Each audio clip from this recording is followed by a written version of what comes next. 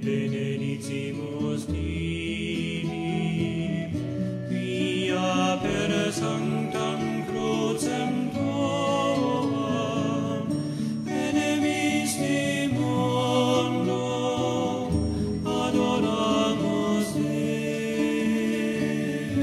in hoc signum, in diesem Zeichen, so steht es von der Geburt der Kirche an über ihrer Geschichte, über ihrem Leben. In diesem Zeichen, und es ist nicht irgendein Zeichen gemeint, sondern eindeutig das des Kreuzes. Dieses Kreuz ist verschiedentlich in Verruf gekommen. Wie jedes Zeichen kann man es instrumentalisieren und missbrauchen, aber es bleibt das Zeichen des Christentums und das Zeichen der Kirche. Selbst bei Versuchen heutzutage, es durch anderes, vielleicht gefälligeres zu ersetzen. In hoc signum, und zwar nur in diesem Zeichen gibt es Leben. Wir haben das eben in den Schrifttexten gehört. Die Entäußerung Jesu, in dem Gott sich selber ganz bloßstellt und sich selber im Sohn gibt. In diesem Zeichen.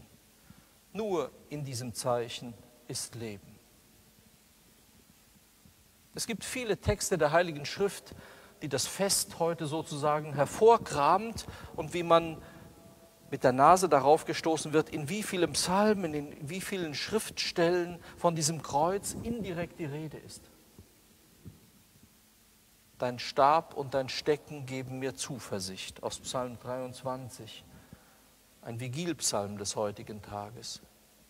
Wer denkt bei Stab und Stecken dieses Psalms an das Kreuz? Aber so führt uns die Liturgie hin aus den verschiedenen Schriftstellen, wo indirekt vom Kreuz die Rede ist, wo man plötzlich vom Holz, vom Kreuzstab spricht und entdeckt, wie tief die Heilige Schrift ist und wie viele Ebenen und Schichten sie hat. Und es gibt Stellen, die direkt das Kreuz thematisieren. In diesem Zeichen, so lesen wir in der Apokalypse, dem letzten Buch der Heiligen Schrift. Und es ist ein Mystiker des Hochmittelalters, den uns die Kirche heute in der Vigil und in der Lesehore lesen lässt, der auf diese Stelle anspielt in einer Predigt. Johannes Tauler. Er sagt, als unser Herr dem Engel Erlaubnis gab, alles, was auf Erden war, zu schlagen und zu vernichten, sprach er, du sollst nur die verschonen, die das Zeichen, das Siegel, das Kreuz auf ihrer Stirn tragen. Und Tauler sagt, noch einmal betont ein Mystiker, wer aber das Kreuz nicht in sich noch auf der Stirn trägt, der wird nicht verschont, nicht gerettet. Das klingt gut. Aber was heißt es konkret? Wie oft sind wir dabei, uns gegen die Kreuze zu wehren?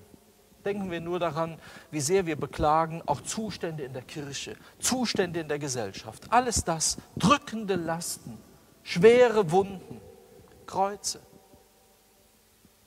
Wer das Kreuz nicht in sich trägt, noch auf der Stirn, wird nicht gerettet. Tauler sagt, nicht die Gelehrten, nicht die Beschaulichen, noch die Tätigen werden geschont werden, sondern die Leid getragen haben. Welch ein Wort am heutigen Tag. Dass wir lernen, nicht am Kreuz vorbeizukommen, das ist die Botschaft des Christentums, sondern durch das Kreuz hindurch. Die Kreuze, die sich ergeben, die Kreuze, die das Gesicht der Kirche heute entstellen, wo wir in unserer Gesellschaft nicht wissen, wie das in einigen Jahrzehnten sein wird, ob es diese Gesellschaft so noch gibt. Man zweifelt daran, weil sie sich selber zugrunde richtet, weil sie permanent über ihre Verhältnisse lebt und weil es gar keine Gesellschaft mehr gibt, weil wir geradezu aussterben. Aber es geht nicht am Kreuz vorbei. Man könnte die Gruppen, die Tauler nennt, noch erweitern. Nicht die und die und die, die Perfekten, die alles toll hinkriegen, die Karrieristen und die immer alles schon wissen und die alles analysieren. Nicht die werden gerettet, sondern nur, wer das Kreuz in sich hat und auf der Stirn. Nur die, die Leid tragen und getragen haben, werden gerettet, werden verschont.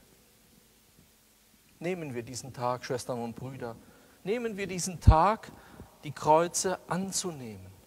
Sie sind nicht der Schlusspunkt. Aber nehmen wir diesen Tag, um das Kreuz unseres Lebens, das Kreuz der Kirche heute anzunehmen und es als eine Trophäe zu betrachten, als ein kostbares Kreuz, das uns gegeben ist, weil wir genau darin das Leben finden, das Gott verspricht. Das Leben, das aufgerichtet ist am neuen Baum des Paradieses, dem Baum des Kreuzes.